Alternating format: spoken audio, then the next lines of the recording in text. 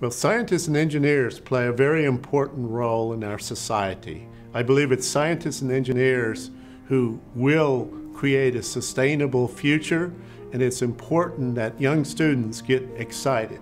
And a good way to do it is with the FIRST programs. I feel it's one of the best programs there is in terms of really energizing students, creating that joy of engineering we like to see.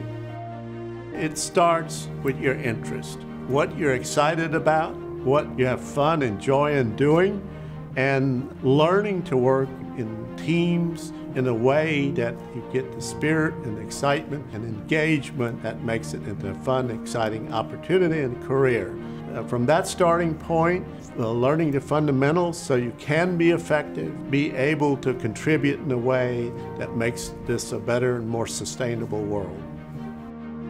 Well, I enjoy seeing the excitement of the teams, how young students are getting engaged and experiencing the joy of engineering, working together in a collaborative way, having fun while they're doing it, and learning all the while, and hopefully looking and getting excited about a career in science and engineering.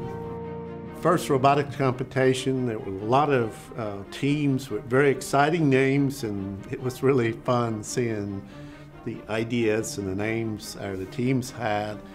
We've learned that our tools has been able to help our customers and we believe create more fun and exciting ways to do engineering.